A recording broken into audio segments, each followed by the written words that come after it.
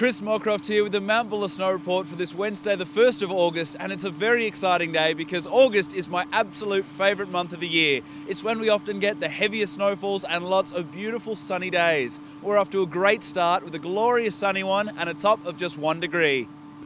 The mercury dropped down to minus 4.2 degrees last night, which meant the snowmakers were able to make more whales than you can point a ski pole at. The groomers got into gear and have some fantastic clean cut corduroy for you to shred, but be sure to get into it quickly because it will get a little sugary towards the afternoon.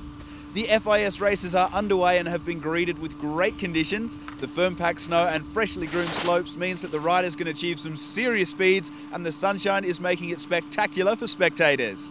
If racing isn't your thing, don't worry. We have three terrain parks open today with a stack of fun features for riders of all levels.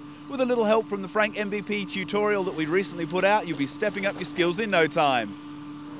It looks like we could have some snow showers developing on Friday, and by the end of the weekend, there could be some healthy, heavy snowfalls as well. Looks like this could be the beginning of an incredible month, so I'll see you when you're shredding. This is Chris Moorcroft on top of the world here at Mount Buller.